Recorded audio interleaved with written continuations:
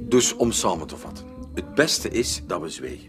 hè? Maar als het niet anders kan, we vertellen allemaal hetzelfde verhaal. Ja, ja, ja. Het is alleen te hopen dat ze geen andere getuigen vinden. Ja, stel u voor, dan begint dat gedoe van dat onderzoek van vooraf aan. Oh, wacht, wacht, wacht, wacht. Heb jij er iemand gezien?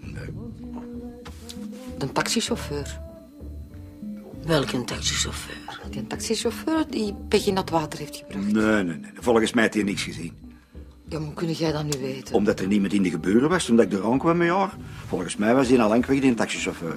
Ja, die heeft mij afgezet en is direct daarna doorgereden.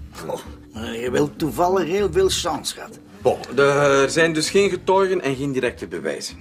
Iedereen weet wat hij moet doen? En dan komt het allemaal misschien in orde.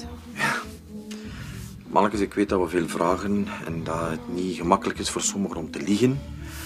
Maar ik heb echt geen goesting om Marosa te gaan vertellen dat haar dochter in de gevangenis zit. Ja, maar haar dochter moet niet naar de gevangenis. Haar dochter verdient dat niet, al die misère. Ze heeft al misère genoeg gehad. Hè, Is dat niet waar? Merci, vader. Dus eh, we zwijgen, oké? Ja, natuurlijk. Oké? Oh, eh Mayra, eh, kun jij even naar de dispatch gaan? Ik kom direct. Ja, natuurlijk.